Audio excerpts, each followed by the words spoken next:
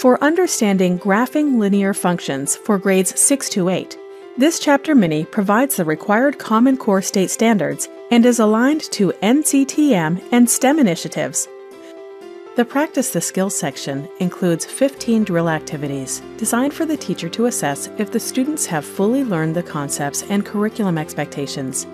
The teacher can choose to have timed drills by using the stopwatch or egg timer tools. These questions are delivered in the form of fill in the blank or touch questions. Here are the related minis in the lesson plan Algebra for grades 6 to 8.